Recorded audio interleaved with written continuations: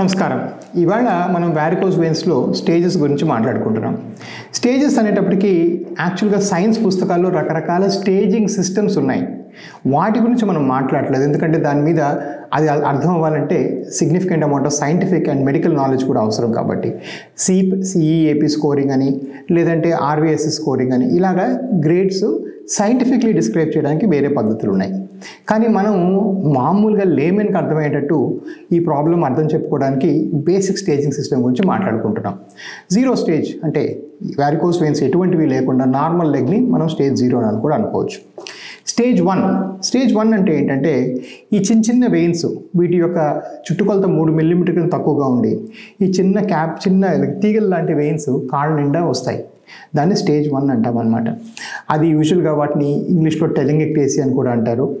కానీ ఇక్కడ మెయిన్ గుర్తుపెట్టుకోవాల్సింది ఏంటంటే స్టేజ్ వన్లో మీకు ఎటువంటి స్కిన్ పిగ్మెంటేషన్ అంటే స్కిన్ కలర్ మారడం కానీ కాళ్ళు వాచడం కానీ కాకపోతే కాళ్ళలో నొప్పులు కానీ ఉండకూడదు. అప్పుడే అది స్టేజ్ వన్ అవుతుంది. ఆ వెయిన్స్ కనబడి దాంతోపాటు మీకు ఎటువంటి సిమ్టమ్స్ కూడా లేకపోతే అప్పుడు అది స్టేజ్ వన్ అవుతుంది. యూజువల్గా నేను చాలా వేరే దగ్గర చెప్పినట్టుగా స్టేజ్ వన్కి పెద్దగా ట్రీట్మెంట్ ఆప్షన్స్ మనం ఆఫర్ చేయం.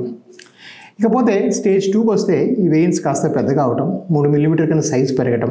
దాంతోపాటు సాయంకాలం అయితే కాళ్ళు నొప్పులు వేయటం కాళ్ళు బాగా టైర్డ్గా అనిపించడం కాళ్ళు ఎవరు నొక్కి పెడితే బెటర్ అనిపించడం కాళ్ళు వాపులు రావటం కాళ్ళు ఈ మోకాలు కింద భాగం రెడ్డిష్గా కానీ లేకపోతే పింకిష్గా కానీ బ్లూయిష్గా కానీ మన బాడీ కలర్ బట్టి వేరు వేరు రంగులు రావటం సాయంకాలం అయ్యేటప్పటికి. ఇవన్నీ కూడాను స్టేజ్ టూ సిమ్టమ్స్ ఇకపోతే మూడో స్టేజ్కి వచ్చేటప్పటికి మోకాలు కింద భాగం అంతా చర్మం బాగా నల్లగా అయిపోయి చర్మం తన నార్మల్ సౌందర్యాన్ని కోల్పోయి మన అది అది కిందున్న ఎముకకి అంటుకొని ఒక కాలు ఒక వైన్ గ్లాస్ లాంటి అపియరెన్స్ వస్తుందన్నమాట. అంటే అక్కడ మీ అక్కడ రక్తం అలా చేరుకొని చేరుకొని చేరుకొని మీ నార్మల్ ఫ్యాట్ని కూడా తినేస్తుంది కాబట్టి అక్కడ బాగా సన్నబడిపోతుంది పైనేమో లావుగా తయారవుతుంది. అలాంటి అపియరెన్స్ రావడం ఇవన్నీ స్టేజ్ త్రీ అలాంటి వైన్ గ్లాస్ అపియరెన్స్ని లైపోడెర్మెటోస్క్లెరోసిస్ అంటారు. అది వస్తే అది almost end stage varicose veins అని అర్థం.